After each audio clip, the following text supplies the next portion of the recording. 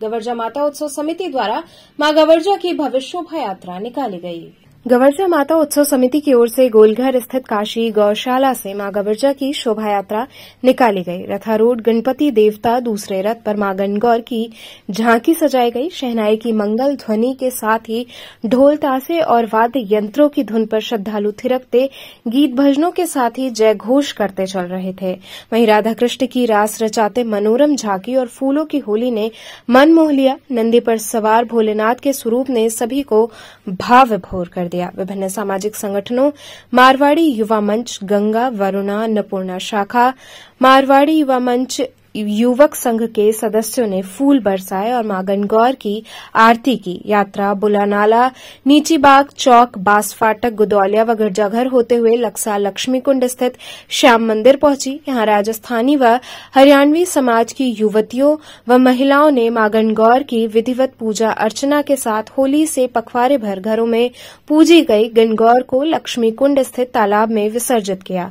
इस मौके पर राज्य मंत्री दयाशंकर मिश्र, प्रमोद विनोद बजाज पंकज मोदी जगदम्बा तुलस्यान सुरेश तुलस्यान इत्यादि विशिष्टजन उपस्थित रहे।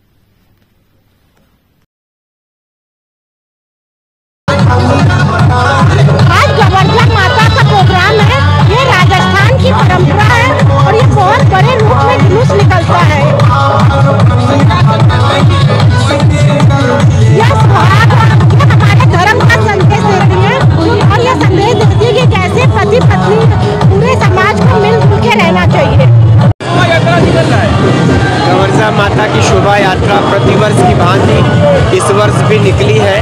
इस यात्रा की शुरुआत गोलघर मैदागिन से होती है और ये जाके लक्सा तक समाप्त होगी। हर वर्ष ईश्वर की कृपा, बाबा विश्वनाथ की कृपा से हम सब इसमें शामिल होते हैं। ये हम सभी का बहुत सौभाग्य है। है, माँ की यात्रा है और पूरा महेश्वरी समाज और बहुत समाज के लोग इससे मारवाड़ी समाज, अग्रवाल समाज इससे जुड़ा हुआ है। तो ऐसे में माँ की आराधना के लिए ये एक बहुत अच्छा मौका रहता हम सभी को एक दूसरे से मिलने के लिए।